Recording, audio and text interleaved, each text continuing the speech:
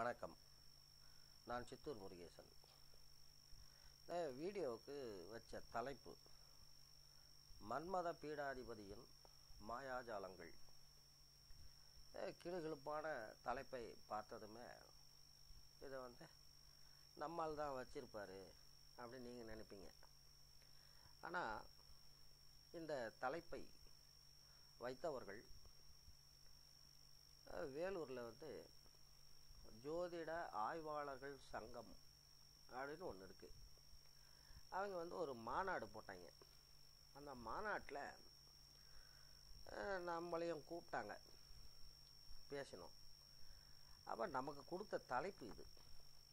மன்மத பீடாதிபதியின் மாயாஜாலங்கள். இந்த மன்மத பீடம் என்பது இதனுடைய ஆக்சுவல் மீனிங் வந்து கிளிட்டோரிஸ் ஆனால் அங்கே கொடுத்த தலைப்புக்கு அர்த்தம் வந்து எட்டாம் பாவம். ஜாதகத்தில் லக்னத்திலிருந்து எட்டாம் பாவத்தை மர்மஸ்தானம் அப்படின்னு சொல்லுவாங்க. மர்மஸ்தானம் அப்படின்னா வந்து அதான் ஆயுள் ஸ்தானம் கூட. அது வந்து இன உறுப்பு. இந்த விஜயசாந்தி விஜயசாந்தி நடித்த படம் ஒன்று இருக்குது பிரதிகட்டனா அந்த படத்தினுடைய பேர். எதிர்வினை அதுக்கு அர்த்தம். அதில் ஒரு பாட்டு வரி. அந்த பாட்டில் ரெண்டே ரெண்டு லைன் தான் வரும். மர்மஸ்தானம் காதுரணி ஜன்மஸ்தானம் அப்படின்னு வரும். அதாவது அது மர்மஸ்தானம் இல்லை. நம்முடைய ஜன்மஸ்தானம். சரி. இப்போ இந்த எட்டாம் பாவம் இந்த எட்டாம் பாவத்தினுடைய ஸ்பெஷாலிட்டி என்ன? இப்போ வந்து ஆயுளை காட்டுது வெல்ல முடியாத எதிரிகளை காட்டும் தீர்க்க முடியாத கடனை காட்டும் சிறைப்படுதலை காட்டும் ஐபி போடுறதை காட்டும். அதே போல் இந்த தற்கொலை கொலை முயற்சி இப்படி எல்லாத்தையும் காட்டும். கூடவே இன உறுப்பையும் காட்டக்கூடிய பாவம். அதான் எட்டாம் பாவம். இது இந்த பெண்கள் பெண்கள் ஜாதகத்தில் வந்து இந்த எட்டாம் இடத்தை மாங்கல்யஸ்தானம் அப்படின்னு சொல்லுவாங்க. அதாவது கணவனுடைய உயிர் கணவனுடைய ஆயுளை கணிக்கணும்னா அவனுடைய மனைவியின் அந்த மாங்கல்ய ஸ்தானத்தையும் பார்க்கணும். அதெல்லாம் ஒரு காலம். அதாவது பெண் என்பவள் தனக்குன்னு ஒரு எண்ணமோ செயலோ இல்லாமல் கணவனையே உலகமாய் கருதி வாழ்ந்த காலத்துக்கு அது பொருந்தும். இன்னைக்கு பொருந்தாது. அது ஒரு பக்கம். இந்த எட்டாம் இடம் காட்டக்கூடிய மற்ற விஷயங்களை எல்லாம் விட்டுருவோம். நம்ம சப்ஜெக்டுக்கு வருவோம். இந்த வலையுலக மாத்திருபூதம் ஜோதிட ஓஷோ இதெல்லாம் வந்து சும்மா வராது. அப்பப்போ இந்த மாதிரி ஏதாச்சும் பண்ணணும். அப்போ தான் அந்த பேர் நிற்கும் இப்போ இந்த உடல் மனம் புத்தி இதுக்கெல்லாம் வந்து ஒரு மைய புள்ளி இருக்குது அந்த மைய புள்ளி வந்து செக்ஸு ஏய் என்னங்க இது? இவ்வளோ கேவலமாக சொல்கிறீங்க அப்படின்னு கேட்பீங்க நீங்கள் வந்து எந்த விஞ்ஞான கண்டுபிடிப்பையாச்சும் எடுத்துக்கோங்க. அந்த விஞ்ஞான கண்டுபிடிப்பின் நோக்கம் ஒரு ஆண் ஒரு பெண்ணை தடை இல்லாமல் போய் சந்திக்கணும். இந்த யந்திரமயமாக்கம் இது எல்லாமே வந்தது வந்து எதுக்குடான்னா சட்டு முட்டுன்னு வேலையை முடிச்சுட்டு படுத்துக்கலாம். அதாங்க. நீங்கள் வந்து இந்த மூளையில் கூட பார்க்கும்போது இந்த பாலியல் மையமும் அறிவு மையமும் அருகருகே இருக்கும். இப்போ குளத்துல ஒரு கல்லை போட்டால் எப்படி அது அலையாக போதோ அப்படி அறிவு மையத்தில் ஏற்பட்ட அதிர்ச்சி பாலியல் மையத்தை தாக்கும். பாலியல் மையத்தில் ஏற்பட்ட அதிர்ச்சி அறிவு மையத்தை தாக்கும். இப்போ அதனால தான் நாம் வந்து பார்க்குறோம். இந்த அறிவு கூர்மை வாய்ந்தவர்கள்.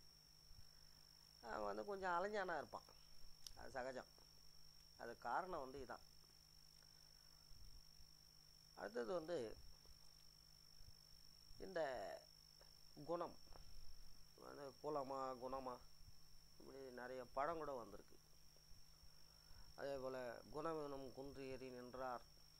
திருக்குறள். குணத்தை பொறுத்துதான் வர்ணம். இதெல்லாம் சொல்கிறாங்க ஆனால் இந்த கேரக்டரு கேரக்டர்னு சொல்கிறோம் பார்த்தீங்களா இந்த கேரக்டரை தீர்மானிக்கக்கூடிய அந்த ஜீன் அதுதான் அந்த உயிர் ஆனா பெண்ணாங்கிறதையும் தீர்மானிக்குது. அதாவது ஒரு ஆண்மகனுடைய கேரக்டர் அது தனி. ஒரு பெண்ணுடைய கேரக்டர் அது தனி. அதை வந்து ஃபஸ்ட் ஆஃப் ஆல் புரிஞ்சுக்கிறோம் இப்போ வந்து இந்த எட்டாம் பாவம் அதே போல் இந்த மர்மஸ்தானம். இது வந்து என்னடான்னா ஆணை பொறுத்தவரையில் அவன் நேச்சரே வந்து என்னென்னா படையெடுக்கிறது. பரவுறது. இப்போ அந்த காலத்தில் வந்து கத்தி கபடாலாம் தூக்கிக்கிட்டு வன வாழ்க்கையில் கூட இந்த கற்கால மனிதனாக இருந்தப்போ கூட கல்லைகளையும் தூக்கிக்கிட்டு போய் அங்கே இருக்கிற குரூப்பை அடித்து தூள் பண்ணி அதையும் கேப்சர் பண்ணிக்கிறது. அது படையெடுக்கிற கேரக்டர் இந்த ஆணுடைய கேரக்டர் இது வந்து அவனுடைய உள்ளார்ந்த இச்சை. அதாவது ஒவ்வொரு உயிரும் அதனுடைய அடிப்படை நோக்கமே என்னடான்னா மொதல் பாயிண்ட்டு சர்வைவ் ஆகணும். உயிர் வாழணும் அது. அடுத்தது வந்து என்னடானா பரவணும். பரவணும் அப்படின்னா அதுக்கு அன்னைக்கு இருந்த ஒரே வழி வந்து இந்த இனப்பெருக்கம் தான். அதே போல் படையெடுப்பு. இப்போ இன்றைக்கி வந்து இந்த தகவல் தொழில்நுட்ப புரட்சி காரணமாக இப்போ நாம் ஒன்றும் பெரிய விஞ்ஞானி எல்லாம் கிடையாது. பிரபலம் கூட கிடையாது. ஆனால் கடந்த ஆறு வருஷத்தில் நம்ம அனுபவஜோதிடம் டாட் காம் வெப்சைட்டை நாலு கோடி பேர் பார்த்துருக்காங்க. இதுதான் பரவுதல். பரவுதல் என்றால் ஸ்தூலமாக ஃபிசிக்கலாக இல்லை நம்முடைய சாயல் கொண்ட சில ஜீவராசிகளை நடமாட விடுறது. இந்த பரவுதல் என்பது அது ஒரு விதம். இப்போ வந்து நம்ம பாரதி ராஜா டைரக்டர் இப்போ அவருடைய பாதிப்பில் வந்த இயக்குனர்கள் எத்தனை பேர்? அந்த சிஷ்ய கோடிங்களுடைய பாதிப்பில் வந்த சிஷ்ய கோடிகள் எத்தனை பேர்? அதுதான் பரவுதல். இந்த பரவுதலுக்கு தேவையான அந்த பவர் எனர்ஜி அது வந்து நாட்டில் வந்து நிறைய பார்க்குறோம் எல்லாம் வந்து கல்யாணம் கட்டுற வரைக்கும் பொலி காலம் மாதிரி தெரியும். கல்யாணம் ஆனதுமே ஒரு அடக்கம் வந்துடும் ஒன்று ரெண்டு குட்டி போட்டாச்சுன்னா ஃபினிஷ் அப்படியே கூல் ஆகிடுவார் அவர்.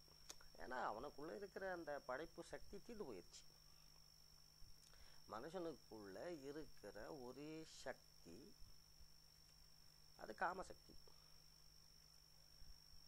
அது காமத்தில் செலவழிந்தும் முழுக்க செலவழிந்து விடாத சக்தி மிச்சம் இருக்கும்போது அது வந்து படைப்பு சக்தியாக வெளிவருது. படைப்புன்னா ஒரு கதை கவிதை ராக்கெட் விடுறது எல்லாமே. இந்த மனிதர்களின் குணம் கேரக்டர் அதை முடிவு பண்ணுறது ஒரே ஜீன் தான். ஆனா பெண்ணா தீர்மானிக்கிறதும் ஒரே ஜீன் தான் அப்படின்னு சொன்னேன். இந்த ஆண் கேரக்டரையும் சொன்னேன். என்ன? பரவுதல் படையெடுத்தல் இதெல்லாம். ஆனால் இந்த பெண் பெண்ணுடைய கேரக்டர் வந்து என்னடான்னா காத்திருப்பு. அவ்வளோதான் தான் இருக்கும் இடத்துலையே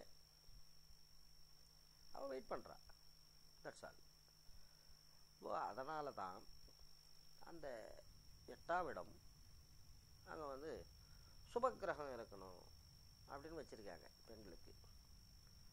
ஏன்னா சுபக்கிரகம் இருந்தால் தான் அவள் வந்து ரிஸ்க் எடுக்க மாட்டாள் ரிஸ்க் எடுத்தால் அங்கே வந்து எட்டாம் இடத்துல பாவகிரகம் இருக்குதுன்னு அர்த்தம். இப்போ வந்து நாம் பார்க்குறோம் இந்த ஆணவ கொலைகள். இதெல்லாம் இப்படி தான் போயிருக்கும் போல். இந்த எட்டு என்ற பாவத்தை ஏன் ஆயுள் ஸ்தானமாக வச்சாங்க? அப்போ வந்து இந்த உடலுறவுக்கும் இந்த மரணத்துக்கும் ஏதாவது சம்பந்தம் இருக்கா? இருக்குது இருக்கு. அதாவது ஆண் பெண்கள் உச்சமடையும் போது காலம் தூரம். இதில் எதுவுமே தெரியாத ஒரு பிளாக் அவுட் ஏற்படுது. அது வேணாம் வந்து ஒரு குட்டி மரணம் அப்படின்னு சொல்லலாம். மரணத்துக்கு ஒரு மோஷன் பிக்சர் மாதிரி மோஷன் போஸ்டர் மாதிரி. அட் த சேம் டைம் அது வந்து சைக்கலாஜிக்கல் இப்போ ஃபிசிக்கலாக எடுத்துக்கிட்டேன் இப்போ நான் வந்து ஒரு உதாரணம் சொல்கிறேன் இது வந்து நம்ம டாக்டருங்கெல்லாம் பாய்வாங்கன்னு நினைக்கிறேன். ஆனாலும் பரவாயில்ல ஒரு உதாரணம் சொல்கிறேன் அதாவது ஒரு பெரிய களிமண் விநாயகர். அது பெரிய தொப்பை இருக்குது இப்போ அந்த தொப்பையில் இருந்து கொஞ்சம் கொஞ்சமாக கொஞ்சம் கொஞ்சமாக களிமண்ணை எடுத்து குட்டி குட்டி விநாயகராக செய்துக்கிட்டே வந்தோன்னு வைங்க. அப்போ அந்த விநாயகர் வந்து சிக்ஸ் பேக்குக்கு வந்துடுவார் விநாயகர் அப்படின்னா அவருடைய ஐடென்டிட்டி என்ன? மகோதரன் அப்படின்னு பேர். பெரிய தொந்தி உடையவர். ஆனால் அடையாளமே போயிடும் அப்படி ஒவ்வொரு உடல் உறவிலும் ஏதோ இழக்கப்படுது. அது அவனுடைய குணமா? இல்லை அவனுடைய வேகமா? அவனுடைய வீரமா? இல்லை அவனுக்குள்ளே இருக்கிற கசடுகள்? அதாவது இந்த சுயநலம் கூட்டி கொடுக்கறது காட்டி கொடுக்கறது சாடிசம் இந்த மாதிரி விஷயங்களா? ரெண்டுத்துக்கும் வாய்ப்பு இருக்குது அதாவது நாம் வந்து வாழ்க்கையில் பார்க்குறோம் இப்போ கேடுகட்ட புறம்போக்காக இருந்திருக்கும். அது கல்யாணம் கட்டி ரெண்டு பெற்றதுமே அதுவும் வெள்ளை வெட்டி கட்டிக்கிட்டு நாலு பேரோட நல்லபடியாக பழகிட்டு இருக்கும் அப்போ வந்து அவனுக்குள் இருந்து ஏதோ கெட்டது வந்து எக்ஸஸ்ட் ஆகிருச்சு அதே போல் இந்த நல்ல குணங்கள் இது குறையிறதையும் நாம் பார்க்குறோம் அடுத்தது வந்து என்னடான்னா இந்த ஆயுள் இந்த உடல் உறவு இது ரெண்டுத்துக்கும் என்ன சம்பந்தம்? நீங்கள் வந்து தினத்தந்தி பேப்பரை படிக்கிறவங்களா இருந்தால் அவங்களுக்கு தெரியும். கள்ளக்காதல் எதிரொலி. கணவரை தொல்ல துடிக்க வெட்டிய மனைவி இப்படியெல்லாம் வரும். இது இந்த ரெண்டுத்துக்கும் இருக்கக்கூடிய லிங்க்கு இது வந்து அந்த மாநாட்டில் பேசுவதற்கு நிறைய குறிப்பெல்லாம் எடுத்து வச்சுருந்தேன். எதையோ தேடிக்கிட்டு இருக்கும்போது அது கிடைச்சிது. அது வந்து சும்மா சில விஷயங்கள் ஷேர் பண்ணேன். நீங்கள் எந்த அளவுக்கு இதை பார்க்குறீங்க புரிஞ்சிக்கிறீங்க அப்படிங்கிறத பொறுத்து இன்னும் கொஞ்சம் டீப்பாக போவோம். நன்றி வணக்கம். சித்தூரிலிருந்து முருகேசன்.